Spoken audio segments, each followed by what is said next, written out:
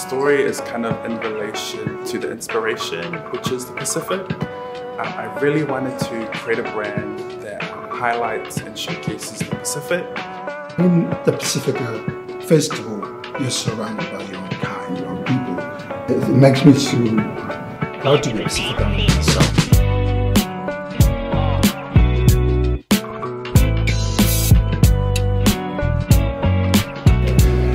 Especially being a New Zealand-born Pacific Islander.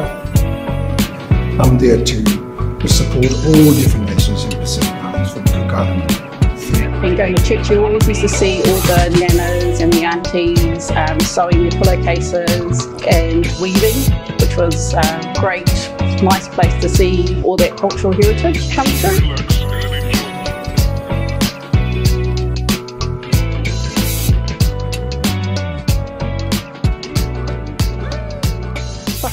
Fakaalofa lahi atu. My name is Seraphina Wood and I'm Niuean and the village that I'm from from Niue is Tuapa. I am first generation here, New Zealand, and I grew up in Auckland.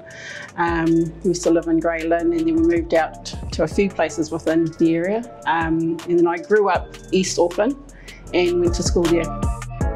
Pasifika. Um, it was always at the end of the secondary Pacific competition.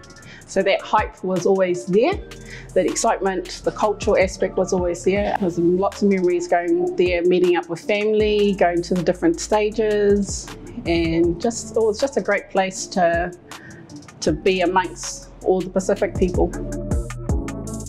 Uh, the Fashion of Pasifika, you always knew where you were when you were there um, because of the fashion that every culture wore. So you go to the Tongan stage, um, everyone will be wearing the mats. You go to the Cook Island area, everyone will be wearing their Cook Island garments um, and their flower headbands and Niueans, you'll go there and everyone will be have their Niuean necklaces and you'll always just see colour, lots of colour um, in amongst all the different villages and all the different parts of Western Springs. It's a great place to go and get get get food. Um, it's really hard to choose with what to get. Um, so you go different places, but we always went to go get the, because um, it was always a hot day during the summertime, so we always go get the watermelon with the ice cream on top, or the pineapple with the ice cream on top, and you always see people walking around with it. So that's what you wanted to get while you were there. I always go back to the 90s music. So every time I go into my studio, I've got home studio at home, um, I always play go straight to my mix, which is a 90s mix and always with Janet Jackson. Streaming music just flows from there. It's usually just 90s. So I've always been surrounded by a lot of creative um, people. So my family's quite creative and um, growing up in Pacific, Island home and going to church, you always used to see all the nanas and the aunties um, sewing their pillowcases and weaving, and, which was great nice place to see all that cultural heritage come through. Um, so that's where the it all started from. Um, and I've probably been doing fashion seriously for the past four or five years.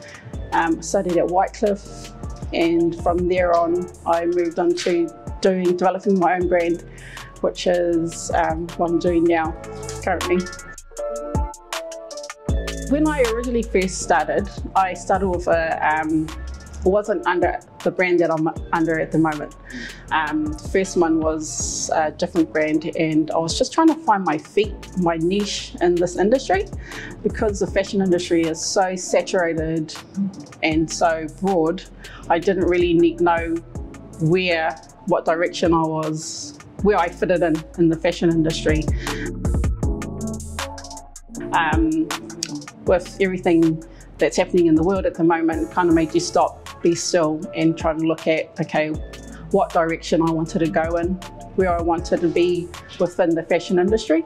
So my brand that I came up is Saint Fina, and the saint is uh, homage, or it's to do with religion and um, growing up in, in a family that went to church and you know that background. So that was for that. And Fina is actually the name that my family calls me um, when I'm amongst them. It's, it's, hey Fina, how are you?